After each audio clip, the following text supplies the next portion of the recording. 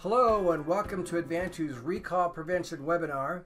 We're going to walk you through our background, what the deal is with FDA recalls, and then we'll show you how our process helps companies prevent FDA recalls. Are you ready, Charlie? Yes, I'm ready.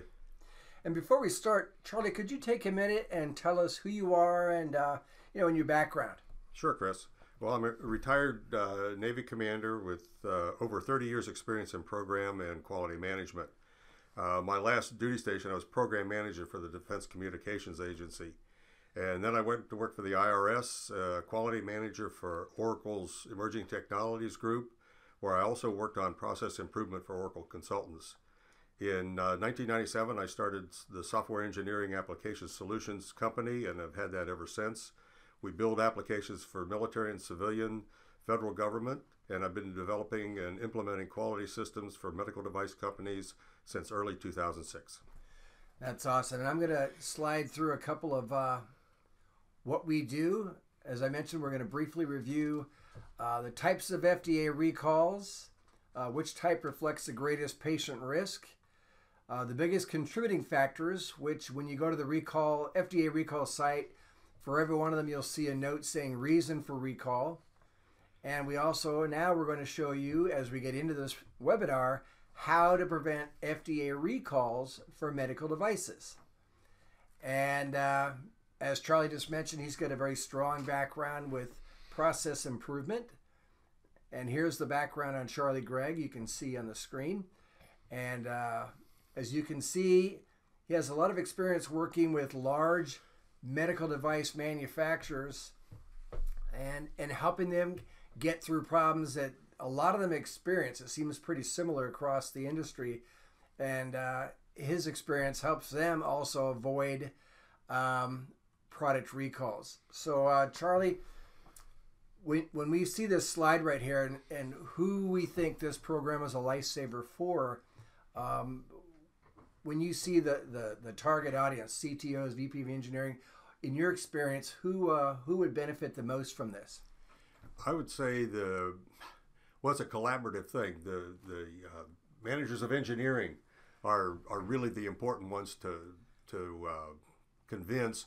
But you also have to convince the, the, the CEOs and the CIOs in order to get the money for it. But you have to have support throughout the organization. And um, as I mentioned, we're we're going to discuss the recall prevention process. But uh, where do you see this as a value add for this process within the process improvement program that you have? Well, you know, in, any company, medical device or other, uh, can benefit from this process. The process improvements that uh, we help companies achieve develop uh, devices that exceed customer satisfaction and reliability. Whether you're producing infusion pumps, replacement joints, or just building a better mousetrap, every organization will benefit from prioritizing the tasks that are the most cost beneficial in the long run.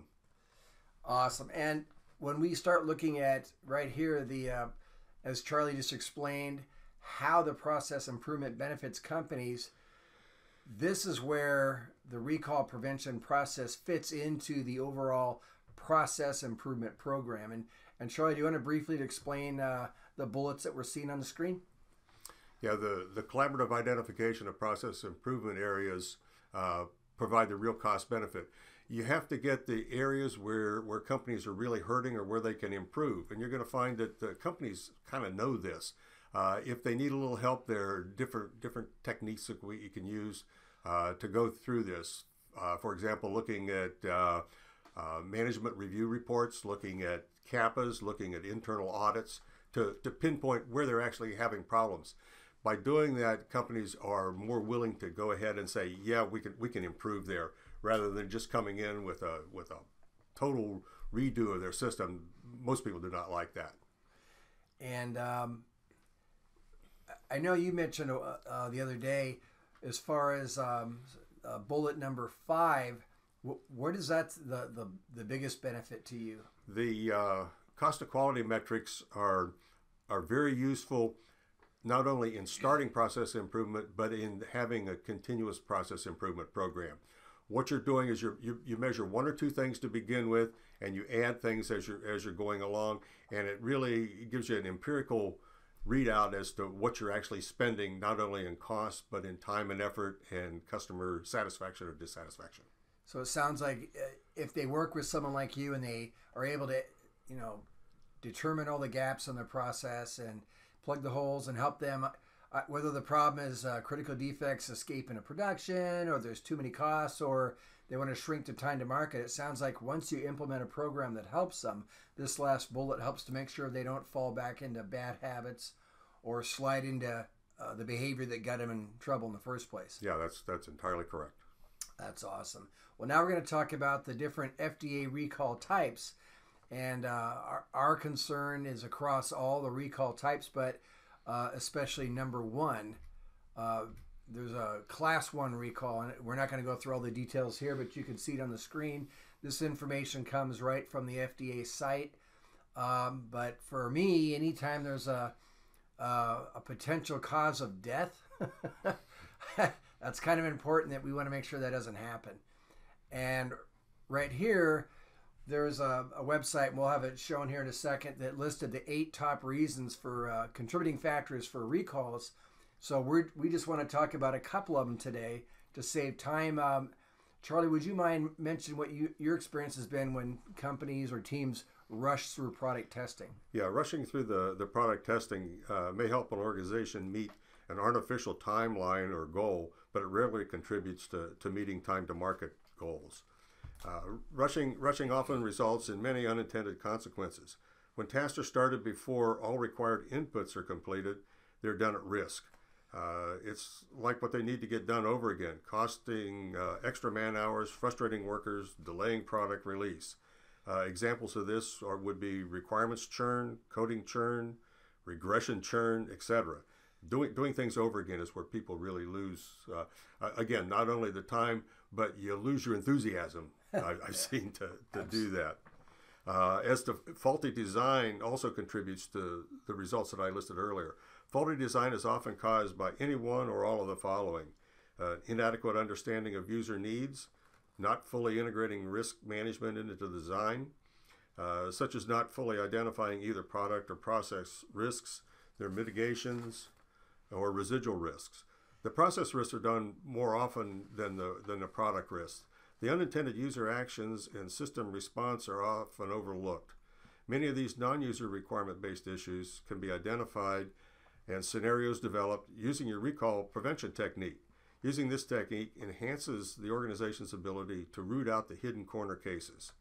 Uh, you also have lack of traceability, uh, changing system and subsystem architecture, and poor regression analysis and execution. And it's and it sounds to me like all of this folds in well together. The recall prevention process with your process improvement program. Yeah, it's a, it's a it's a big part of it. I, you can you can take any one of the, the parts by themselves and get some benefit, but if you take take the whole thing, you're, you're really covering the whole gamut of, of things, and you end up with a, a good process to do it.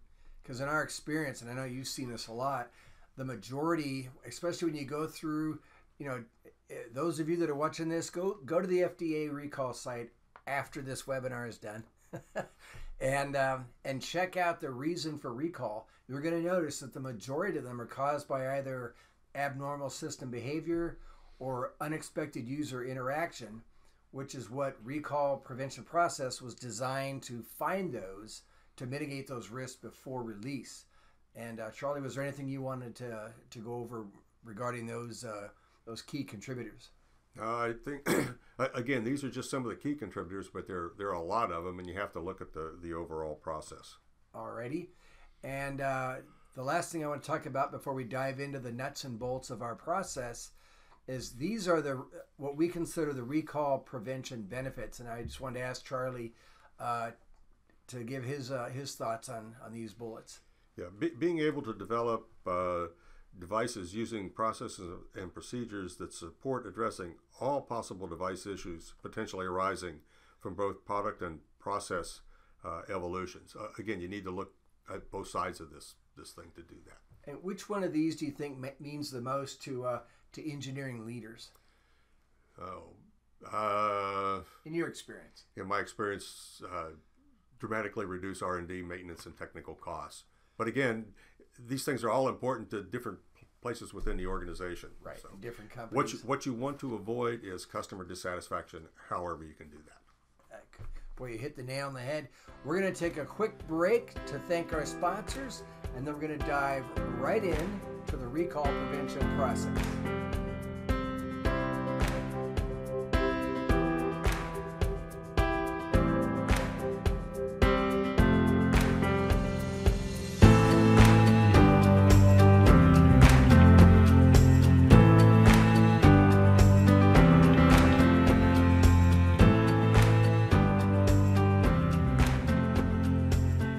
Tired of seeing your project timeline slide to the right month after month with no end in sight? Build your mission critical apps with all the major risks identified up front and during the project by utilizing Advantu's Risk ID checklist. Don't be surprised again with continually delayed projects caused by unexpected challenges. Stay ahead of those release killers by knowing where all the critical risks are. The Risk ID checklist helps you identify all the high risk areas in the system so you can properly target those critical defects lurking in the code and mitigate all of them. This program will make you the company hero by helping you deliver on time every time without surprises. Try it out for free at advantu.com forward slash risk. That's spelled A D V A N T U dot com forward slash risk. Okay, and we're back. As you can see, we have the recall prevention process overview on the screen in front of you. And uh, I'm going to give you the 10 second review. As we go through the process, it'll make more and more sense to you. But in essence, when we work with product development teams, we walk them through the product requirements showing where all the high risk areas are. Then we show them how to unearth the critical defects that are lurking in the code, which normal testing typically doesn't find, by creating what if scenarios for unusual behavior. And then we prioritize them so our testing can be focused on the highest impact, highest risk areas. This allows us to find those critical defects while not wasting time on low impact areas, which are usually covered well enough by FDA mandated requirements based testing. This process is very good for revealing defects that unexpected user interactions typically cause, which is why we call this our recall prevention process. So, Charlie, are you ready to get started? Yeah, let's uh, go ahead, Kris. Alrighty, we're going to go to step one. Here we go. And I'm going to pop all these up and we can walk through them. So um, go, go ahead, Charlie. Uh, well, one of the, the, the where you really need to start is uh, identifying new functionality and addressing user needs. When we're able to have these complete and well defined, we're ready to start analyzing. If these are not as rock solid as they can be, we'll likely repeat the succeeding steps, and that costs us time. Uh, the farther we go down the development road, the more we need to repeat. Uh, and going back to uh, uh quality uh, metrics, that will show you that that you're, you're uh, redoing your, your time and effort. And the more we repeat, the more our cost benefit goes down and goes in the wrong direction. And I found too that when we do this step, I, have used this in other projects because um, I want to kind of test out the uh, theory to practice to confirm um, this process has been around a while, and we proved it would work in the in the medical device world. And we noticed that when we started going through all the products for new functionality, that it kind of um, illuminated everybody to what they either hadn't thought of or what they might have missed because they didn't take the time to read the requirements or they were kind of in a hurry when they wrote the specs. So this tended to kind of reveal issues right off the bat just with the, uh, I guess I'll call it the codability or the testability of the requirements. So it seemed like a, a very helpful start uh, beyond just what we were looking for as far as recall prevention. And uh, as we mentioned here, who wants to say, you know, how on earth did we miss that? So let's go ahead and uh, move on to step two. And I'll let go ahead and Charlie, I'll let you uh, go on from here. Yeah. Uh, first of all, we start uh, mapping user needs to product risks and product risks, and then both product risk mitigation and process mitigations are mapped to product requirements. Now, assuming we've identified all user needs and risk mitigations, we have a solid understanding of product requirements. The risk mitigations we added to the product requirements will be drivers in choosing the most beneficial architecture and ultimately the best design. And hopefully, through this process, with, with our traceability so far, we will not have missed anything. That's awesome. And what's nice is uh, just a one second here is the first step we went through and made sure we were clear on all the requirements, and now we're mapping the requirements for mis- risk mitigation activities. We're mapping the requirements to the code so that now we know um, we're set for the next step. And now we're going to go to step three, which is mapping the mitigation activities to impacted design elements. And this is where it gets fun. And uh, uh, Charlie, go, I'll let you go ahead and go. Okay, this is where, in, in my observations, working with companies, where where most organizations go awry because developers tend to get ahead of the situation here and start coding without without fully understanding the requirements. So we're, we're looking to ensure that we actually design in all mitigation requirements. And linking this then allows us to verify that the mitigations are correctly implemented and in fact we mitigate what we intended to. And I was going to ask you, Charlie, because uh, when we did this on one of the, the last projects that I worked on, um, because now we're looking at, uh, you know, we've identified the requirements and now we've mapped the requirements to the code. And now we know that when we're making changes to the code to say add new features, new requirements, new functionality, we want to see if the changes to the code negatively impacted um, previously uh, functioning uh, features and, and functionality. So, from all the projects that you've worked on for quite a while, how often do you see teams actually go through this step? Not very often. Uh, unfortunately, most organizations only map product requirements to verification protocols and user needs to validation protocols. The design elements tend to get left out in there because it is perceived as being not necessary or, or too hard to, to do. Uh, doing this uh, gives you a false sense of security since verification is not able to actually verify that functionality was not designed into the device that was not intended to support a requirement. Another missing piece from not tracing to design is regression analysis and testing, becoming right. much more haphazard. Finally, if, if requirements are changed, it's likely that unknown relationships will be missed and new errors will be introduced. This was a big problem I pointed out to an organization a, a while ago. Their issue was that tests that had passed before uh, and then on subsequent builds were now failing. I asked the development manager if they conducted regression testing. His reply was, Well, yes, we do. And I says, Well, how do you go about that? He says, Well, we test what was broken. And I says, That's that's it. You can't just do that because you're you're, you're breaking other things that, that are linked to that. And without the traceability, you don't you don't know that. Isn't that funny? Because I noticed when I uh, one of the first projects that I was, you know, running this process on, and we get to this step where we would say, okay, we've we know the requirements are solid. Now we've mapped the requirements to the code, and now they want to add, you know, talking about adding these new features to an existing application. And so to me, it seemed rather logical. Okay, you're you're touching the code. Let's check all the code around that area that you've touched to see if any of that functionality related to the code around what you touched has been negatively impacted. And like you just said, a lot of that could have been code or, or functionality that's already been covered by previously written regression test cases. So they think there's nothing to worry about in that area when most likely that's going to be the issue that bites you down the road. Isn't that right? That's right. Awesome. Let's see if uh, let's see if step four starts to make this a little more clear for everybody. And now we're going to prioritize the recall prevention testing, beginning with the high risk changes. And this to me is where uh, what I like to tell people this is the secret sauce. And this is where it gets pretty exciting because then you start to understand why this works and why we're doing this. And, uh, and before Charlie mentioned this, I'd like to kind of review something from my experience with this. The first time I participated in this process on a project, that I wasn't running, but I was in, you know, I was involved with how this recall prevention process worked. I didn't quite get it at first, but after we were finished, major lights started flashing in my mind.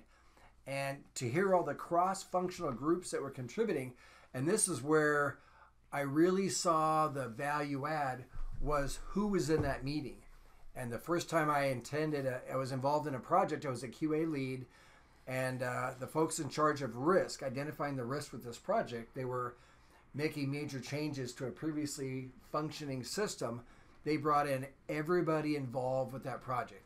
Program management was there, project management, tech support, technical writers, uh, configuration management, and in this case, it would be quality and as well as clinical, and then of course software engineering, software quality as expected, but you made sure you had everybody on the business side because the input from the real world, what the user is actually going to do with this system or with this device, that was the input that made all of this work. That helped us define the issues that otherwise come up in a recall because it's something that happens in a hospital that they didn't anticipate and they didn't look for when they're building the device in the first place. And that's where this makes all the difference in the world. And so what I saw them do was you went through all the steps that we just did. Here's the requirements. Okay, we're going to walk through and identify all the high risk areas because these are all the changes are going to be made. And now, now that we have all the uh, the impacted code, which you know traces out to the new features, and then all the features that surround those where there's potential changes that happen, then they walk through all the prioritizing uh, excuse me, uh, creating the what if scenarios. Okay, if we make this change to the code, then the surrounding functions and features that could be impacted, um, let's go ahead and walk through all those um, perimeter features that could be impacted. And if a user goes through the system and they go ahead and they, they, they select that impacted feature just by using it because it's in the workflow, um, first it's okay if they select that feature that's now been affected by the new feature code changes, what's the impact to the to the user or to the system? And if it's a high impact, like they now go to use this this uh, previous existing function and now it's not working, okay, that's high impact. And if it's in their common workflow, there's a high probability they're going to hit it. So that becomes on this chart you can see a one out of a one to four when you eventually prioritize it. So then you go through and you have everybody in the room contribute these what if scenarios. Okay, the surrounding functionality was uh, feature B, feature C, feature D, and you ask everyone in the room, okay, what would happen if somebody hits it? You know, what could happen to that feature if it's been impacted? Oh, they could click it, it could stop working. Oh, they could click it and it takes too long to function. Or or maybe it affects another feature that's integrated with it. And you go through that entire process and you get input from everybody in the room. And the project I was on, the, the guys in charge said everyone has to give 10 scenarios. And it was amazing how you would see someone from clinical say, oh, you know what? You know what? That could happen. Because this is how the, I know that the nurses will use that device in the hospital because the last time this product went out, that was the CAPA that came in. And then someone on the nursing side will say, oh, well, don't forget this. And so the scenarios list would grow and grow and grow because someone in the room would say something and it would trigger someone else to go, "Oh, well what about that?" If you just had the R&D and QA team in the room, you would miss two-thirds of what would happen in the real world. So the scenarios being contributed by everybody on the team, that that's the magic. And then you go through, as I mentioned, the prioritization. You know, what are the chances that they're going to find it? Okay, let's say they they negatively impacted by the code change for the new feature something in the help section. Maybe the font color was, was skewed or something. Um, what are the chances someone's going to find it? Well, if they don't use the help section much, not very high probability they're going to find it. And if they do find it, well, it's not going to hurt anything, so the impact is really low. And you go through and you label all the scenarios with this process, and now you've been able to, as a team with logic, identify all the potential high impact areas in the system at this early stage and you know where to focus all your time and then you don't have to waste time on the low impact areas because you've already determined even if something happens it's not going to hurt anything so you can set that aside for the uh, especially in a regulated world uh, all the requirements based testing that has to be done that will cover those low impact and low uh, low risk um, uh, issues. And did you want to mention anything on that, Charlie? No, that's uh, that that's really it. I would would reiterate the the uh, cross functional teams meeting to get everybody from every aspect, so you don't have siloed organizations that that, that don't talk to, to each other and, and, go back and forth. So you really you really need to do that. And you mentioned uh, prioritizing the, the, the the testing. That doesn't mean you don't necessarily do the low low hanging or the low uh, risk things. If you have time, you do that. You just don't waste time duplicating what's probably already being done in the requirements based testing. And, and think about, I know you've seen this, uh, of all the projects that we've seen where they don't have a real strong process, and these are the teams that are usually um, in trouble. and I've watched this at, forks at Fortune 100 companies, all the way down to startups, because they don't have a strong process.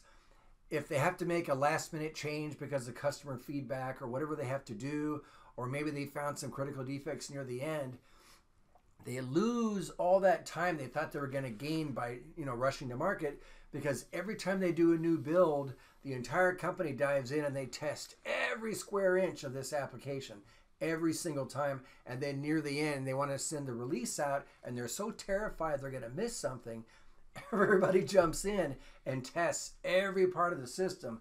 And that always seemed like a huge time waster. And then they would do that and there would be very few defects. And so they're always nervous like oh my god what's going to happen when this goes out?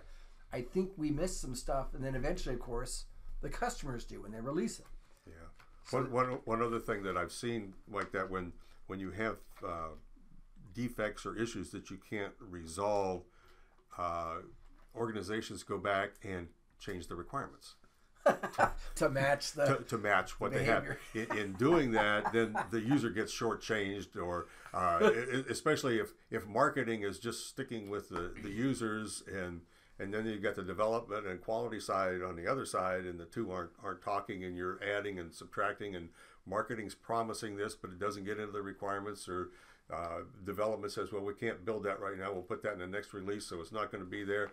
Everybody gets dissatisfied. I've seen that too many times. Let's jump into uh, the next step. Thank you for that, Charlie. That would be step five, where we actually create the protocols uh, designed to uh, find those those hidden defects. And again, the secret sauce. So here's here's how it works. And uh, Charlie, could you go ahead and, as I've seen, you've seen this more than me, of how developers can actually utilize these high impact scenarios. Sure.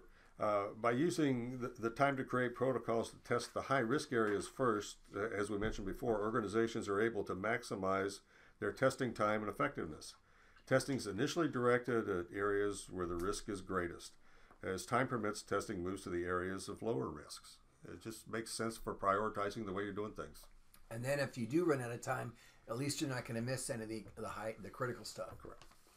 And as far as uh, software quality engineers, Again, it allows them to create the, the targeted negative test cases that are designed to uh, discover all the bad stuff. And that's that's the fun part to me because then you know you're again you're not going to miss anything. And now it's uh, time for the next slide. Here we go. And this is slide six. and what we like to call the value added benefits because uh, here, here's the typical problem. Go, go ahead, Charlie. Okay. Uh, first, first of all, uh, this uh, looking and analyzing your uh, residual risk is an ISO requirement. If risks are not mitigated as far as possible, then you're faced with two solutions continue to mitigate or document rationale as to why the product is safe to ship. If you do not evaluate how well the risks have been mitigated, you're unable to make that decision. And here's the solution that he's that Charlie's talking about. And uh, uh, go ahead, Charlie. Again, you, you, you concentrate your maximum focus on the high risk, high impact areas, and it provides uh, dramatically greater potential for discovering the, the defects that you otherwise would not have done. And it's all through your, your risk management and your risk mitigation and analyzing, you know, how well the risks have been addressed. And here's something I, I was thinking about last night because we're getting ready for the webinar, and what you just mentioned. How often? Because I've sat again the last Fortune 100 medical device company I worked with, where I actually used this the recall prevention process successfully. I sat in the the risk uh, mitigate, you know, the risk team meetings and and went through all the requirements, decomposition, all the specifications. And when I sat in on the hazard review and the risk team, and I listened to how they they conducted business, they followed regulations. They were compliant. they followed the rules, and I watched them miss stuff not because they were sloppy or didn't care, but they were simply following the rules and being compliant, but they weren't thinking out of the box. And I was I wanted to ask you about that. Yeah, that's uh, that's that's very true. you can you can execute every process you have and be compliant with everything, and still have a have a terrible product. Uh, keep in mind that every product that gets recalled was compliant when it was shipped. So being being compliant is not necessarily what you want to do. Uh, you need to be compliant to the intent. What what are you intending to to do? If a task doesn't provide value, uh, don't do it or modify it to provide greater value. Uh, con- conduct uh, evolutions from the perspective of what the intent is. And I, I, give a little quick example of, of traffic lights. Okay, the, the traffic rules say that if the light is green, you can go. If it's yellow, you you maybe go faster to get through there, and if it's red, you stop. How many how many people stopped at a traffic light as soon as it turns green will go without looking right or left? Okay, the the yeah. intent is that you don't get hit, but uh, you could you could follow every traffic rule and get in an accident every day. So look look at what the, the actual purpose is in, in what you're doing and, and make it add value.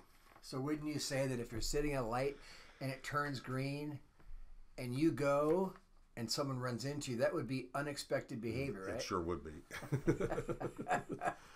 Painful, unaccepted behavior. So we've gone through that process. Let's do, um, as you can see on the screen here, this is the overview. Let's go ahead and do a quick recap, and uh, and you can see all the steps. Charlie, did you want to cover this, or do you want me to? Uh, go, go, go ahead, and I'll chime in. Okay.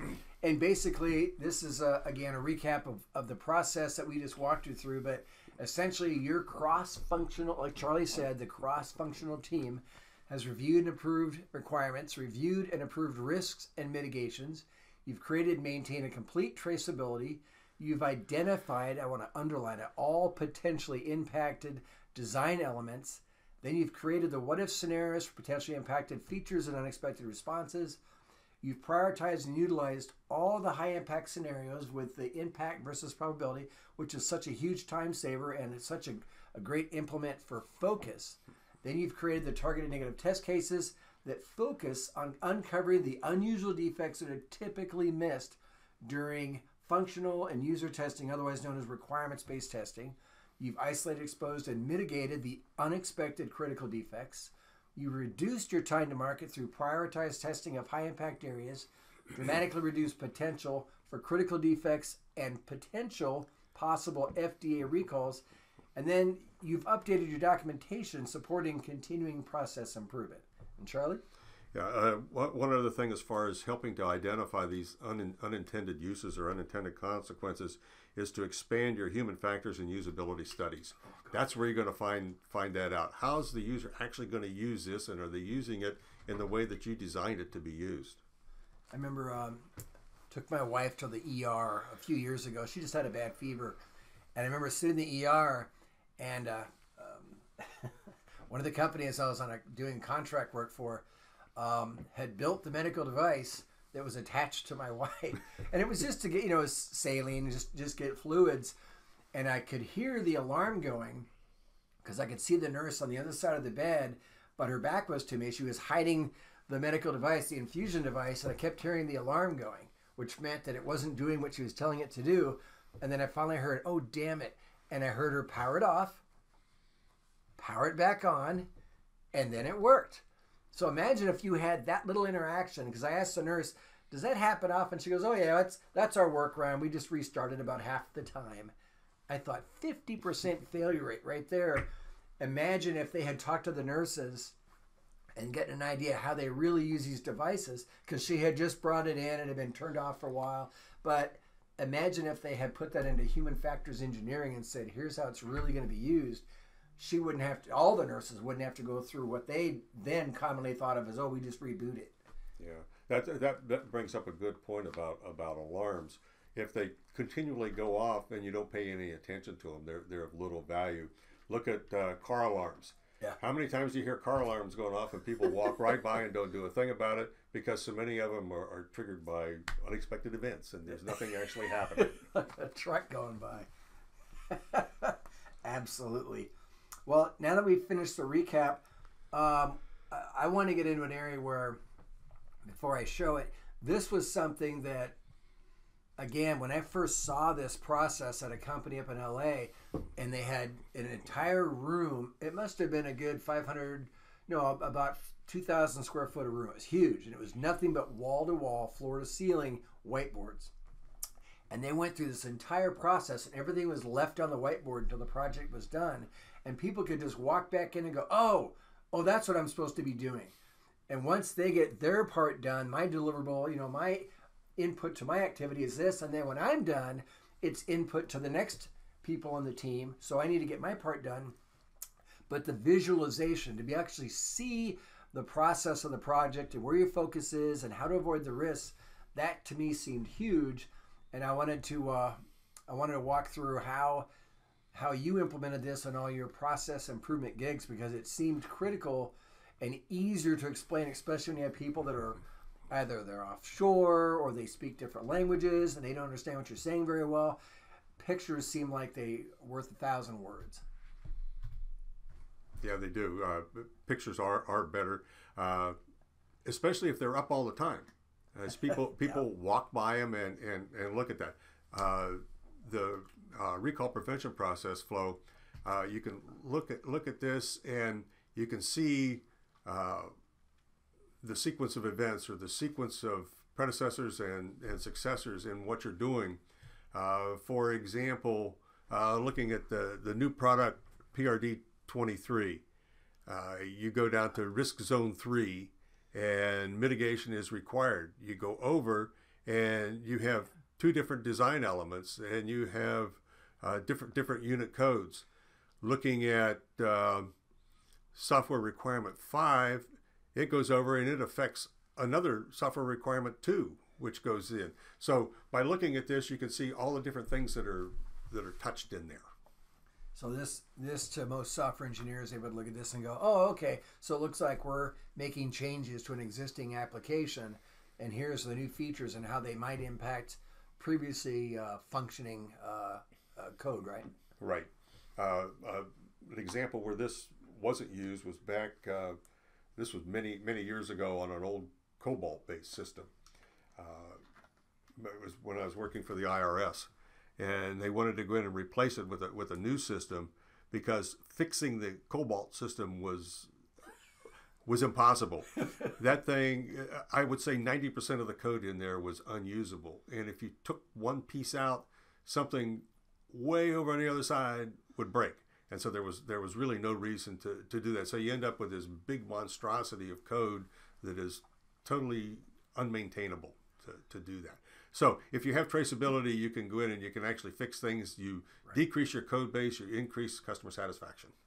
Because you know where to look. Yep.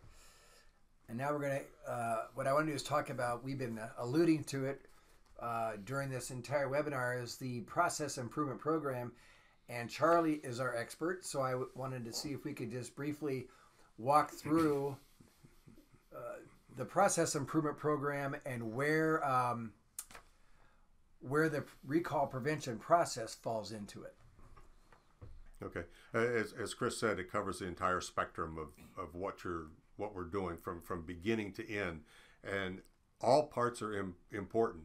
Uh, some people do some parts better than others, but if you if you improve and you do the best you can in in all those parts, you're going to end up with a much better product, which comes back into the the cost of quality metrics that you're doing.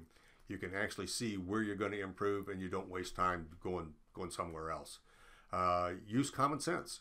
Uh, if, if it doesn't make sense, it probably it probably doesn't uh, deserve being being done. Uh, do things for the right reasons. Uh, you're you're going to shrink your time to market. You're going to have more customer satisfaction. Uh, defects aren't going to be released. You're going to find things early. it's just a, a better overall overall thing, and ultimately you're going to get greater market share driven by the increased user satisfaction. Uh, coming down the chain would be preventing preventable recalls. continuing on again, you're going to decrease the time to market, followed by less frustration and the opportunity to concentrate uh, on on more continual improvement in your processes. That's awesome. And so we're looks like we're just about at the end of the webinar. And uh, as Charlie was explaining the benefits of the process improvement program, because we just walked through again the recall prevention process, which is a part of the overall process improvement program. So, for me, if you're tired of critical defects escaping in production, or your projects keep running late, they slide right further and further, uh, it, you know, and you're you're kind of tired of fighting that demon because uh, what you're doing isn't working, and we've all been through it. Go ahead and reach out and ask us to set up a call with one of our process engineers, or if you know you have challenges with your process, maybe you've had change in management, uh, people come and go, maybe domain knowledge walked out the door. Um, maybe the company was bought by another one and they're not their processes aren't as good as you thought. Uh, let's go ahead and schedule a free assessment. We'll take a look at your software development and product delivery processes and let you know where the gaps are, and then we can provide recommendations. And typically, as Charlie would tell you, they're incremental by nature. I've never run into a company, and I, I'm pretty sure Charlie hasn't, where everything was wrong. And there's nothing worse than some expert coming in saying, "Oh, everything's wrong. I got to scrap it, start from scratch." Nobody has time for that. No one's going to go along with it. Typically, there's a nuance. Maybe there's a piece of the piece or a part of the process is missing or was implemented pro- improperly. So finding those gaps and putting things together properly and getting them in the right sequence, um, getting the right people in the right um, the right roles. It, it, it's a good blend of, of potential issues, but it's not going to be the entire system. It's just a piece here, a piece there that Charlie's is so used to looking at these processes and how companies operate. He can look at it and tell you what's missing, and then we can work with you to put together a remediation plan that has minimal impact on your teams, on how your company operates. But boy, what a benefit to your bottom line when you can actually, you know, accurately forecast timelines and your products go out on time and you're not having a lot of tech support costs because defects were found by your customers that really they shouldn't have. You guys should have found it earlier in the process. And you know that, we know that. We just want to come in and help you get past that. And so we want to be able to help you meet those time to market and product quality goals. And literally at the end of the day, we want to help improve customer satisfaction with your product. So so call today. And uh, and have anything you want to add? Yeah, just just to hit on on one very important point that you made about the about processes.